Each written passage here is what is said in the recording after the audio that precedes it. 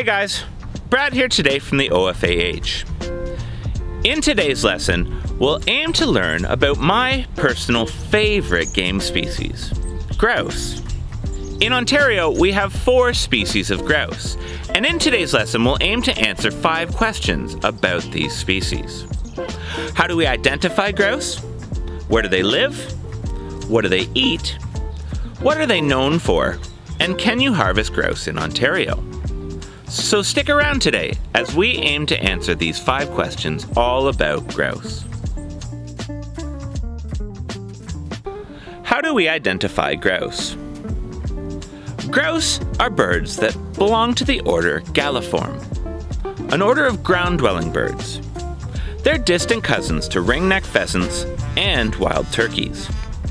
While there's a wide range of species within this family around the world, there are some common features that most of the grouse species share. Ontario's grouse species are each about the size of a small chicken, and they're often referred to as bush chickens or forest chickens.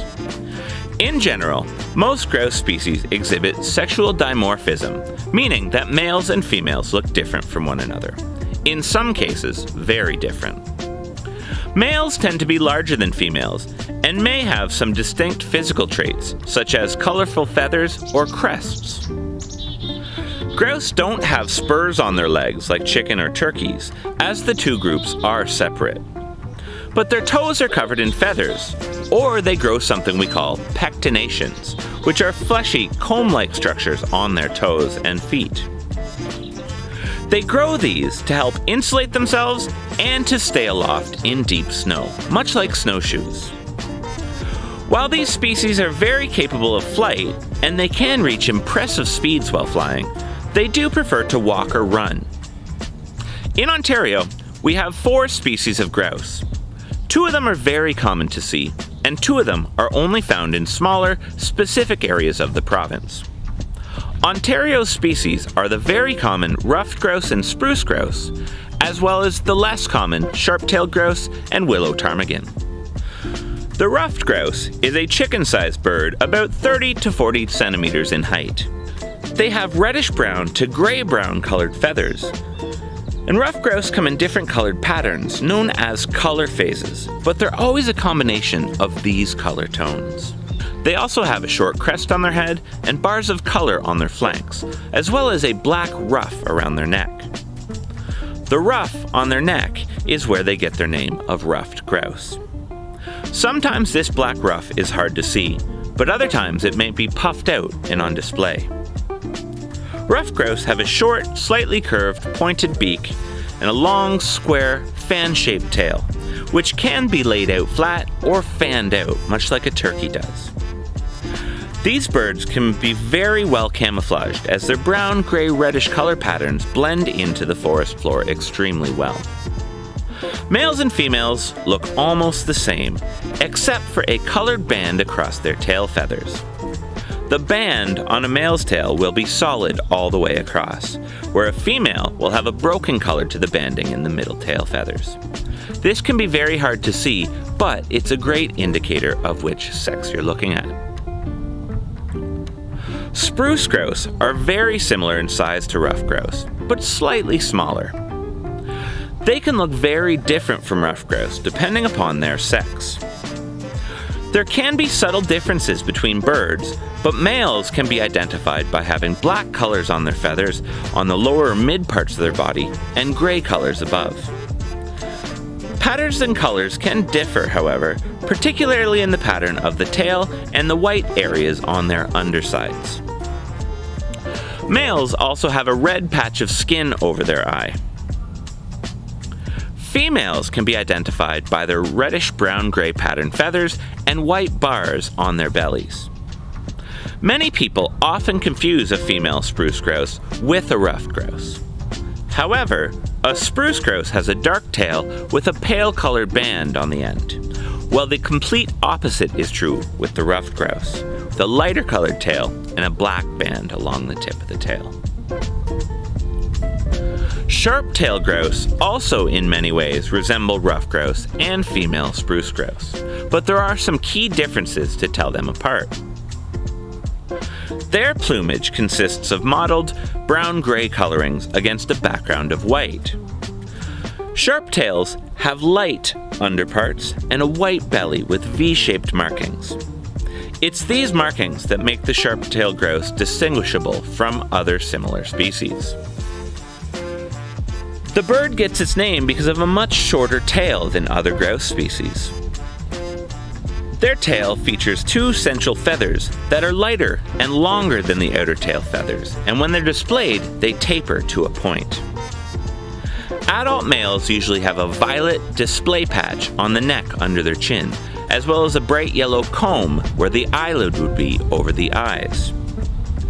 A female is considerably smaller than a male and can be identified by horizontal markings on the back feathers, whereas in males, these markings are usually irregular. Willow ptarmigan are much like other grouse species, as they have a deep chest, fairly long neck, a broad bill, short feathered legs, and a moderately short rounded tail. In the summer, willow ptarmigan males are marbled brown with, with a reddish hue to the neck and breast, a black tail, white wings, and undersides. They have a red semicircular comb or eyebrow like feature above each eye. This becomes more red and prominent in the breeding season. Females are similar in appearance to the males, but with much smaller eye combs and brown feathers scattered among the white feathers on their bellies. During winter, the bodies and two central tail feathers of both sexes become completely white, except for the black outer rectrices. Rectrices are the tail feathers that birds use to steer while in flight. Willow ptarmigan's wing feathers remain white all year round. And in winter, their feet are heavily feathered right to the tips of the toes.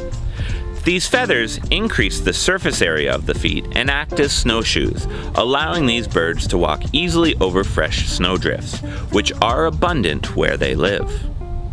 Which brings me to the next question Where do they live? In Ontario, the four grouse species all live in different habitats, with some overlap. Let's get into the details for each species. Ruffed grouse are the most widely distributed resident game bird in all of North America. In Ontario, they can be found throughout the province, except for in the extreme northern parts of the province where the tree line dwindles along the shores of Hudson Bay.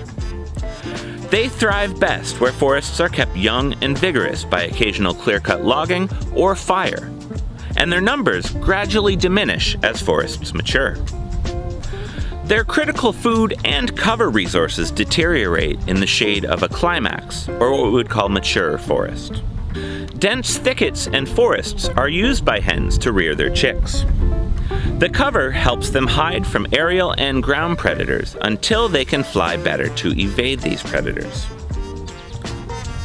Adults tend to spend more time in mature forests and open habitat, foraging in the understory but they still seek thick cover for security and food. Additionally, small openings and trail networks can benefit ruffed grouse because they usually offer green plants and plentiful insects for younger birds. Spruce grouse share a similar range across Canada as ruffed grouse. They're generally found beginning slightly further north in Ontario, with their sightings in southern Ontario being rare. Spruce grouse are in northern regions of the province in quite heavy numbers. In some cases, even more so than ruffed grouse, depending upon the habitat. Although a dense understory, or layer of vegetation beneath the canopy, of food bearing shrubs is as important for spruce grouse as it is for ruffed grouse, they can largely be found in thicker and more mature forests. Forests such as conifer, pine, and muskeg are preferred. They're almost always found in these conifer forests, but not necessarily always in spruce heavy growth. That's because spruce grouse prefer to roost above the ground, most often in these coniferous or sometimes in mixed-wood dominated stands.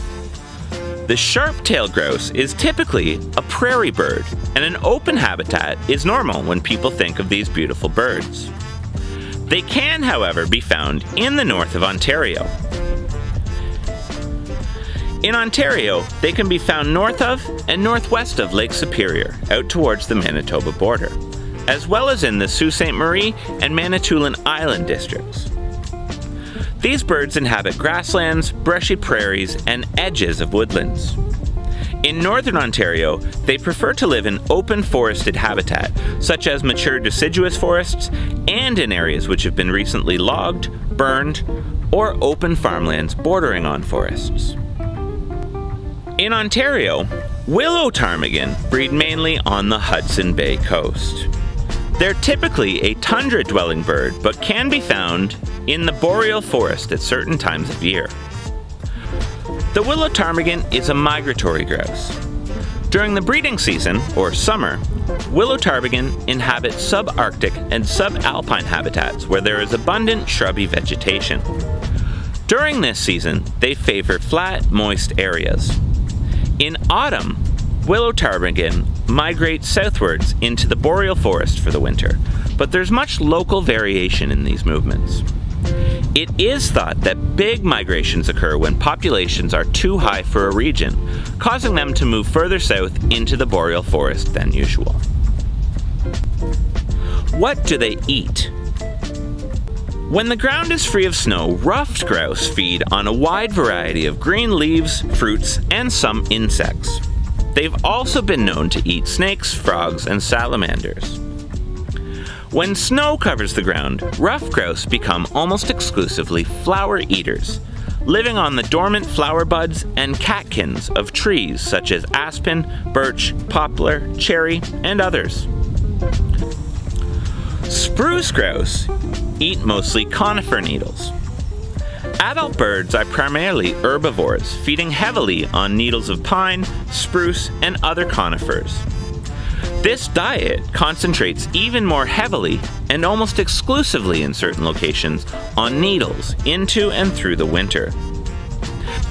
At other times of the year, spruce grouse are known to eat fresh green shoots, grasses, leaves of other plants, berries, flowers, insects, snails, and mushrooms. Sharp-tailed grouse forage on the ground in summer and in trees in winter. They eat seeds, buds, berries, forbs, and leaves. They also eat insects, especially grasshoppers in summer.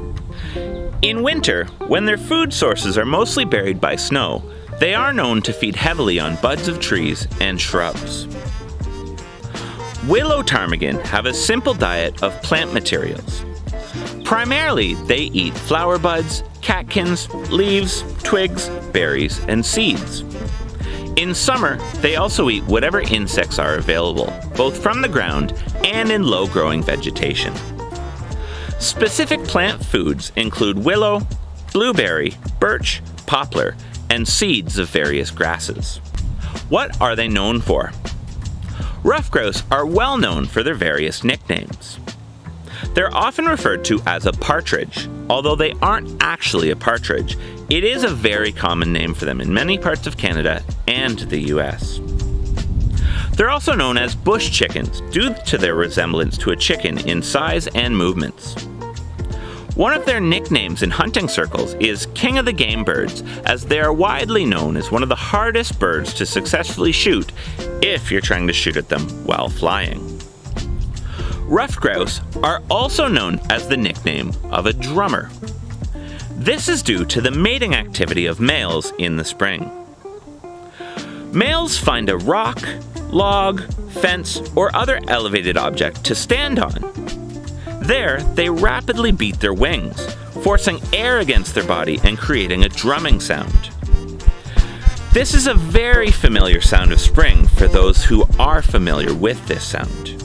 The rapid beating sounds, which last a few seconds, speed up in tempo before finally tapering off. This sound is often confused for someone trying unsuccessfully to start a motor in the distance.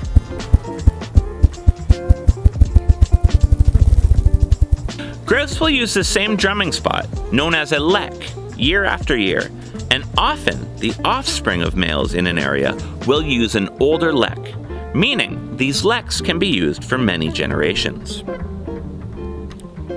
Spruce grouse are well known for one common nickname that they have. That nickname is fool's hen, particularly in the northern regions of the province.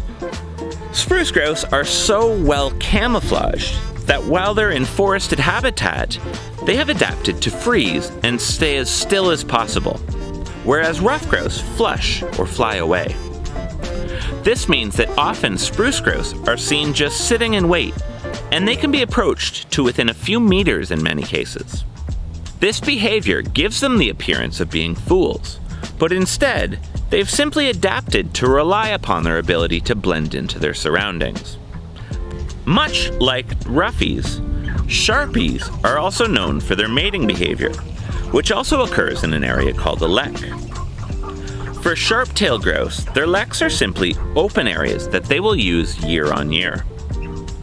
Males will display on the lek by stamping their feet rapidly, about 20 times a second, and rattling their tail feathers while turning in circles or dancing forward, and then squatting to the ground with their wings spread and tails erect in the air. Their purple neck sacs are inflated and deflated during this display. The males use cooing calls to attract and compete for females. Females will then select the most dominant male to mate with.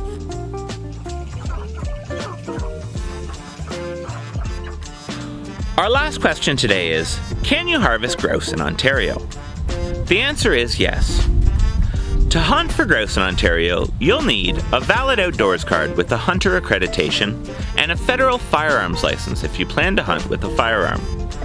Depending upon the region of the province, seasons open around mid September and in the north continue until March 31st. In the southern parts of the province, the seasons for these birds finish at the end of December. Ontario's grouse species are usually hunted one of three ways. They're often hunted with bird dogs, either flushing dogs who are trained to flush the birds within shooting distance, or pointing dogs who are trained to point the birds until the hunter can get close enough to flush the birds themselves. These dogs are then trained to scent and retrieve any dead or injured birds and to gently return them to the hunter. These birds are also often hunted on foot without dogs, with hunters simply moving slowly through the habitat, down trails, looking and listening intently for any sign of these birds or their movements.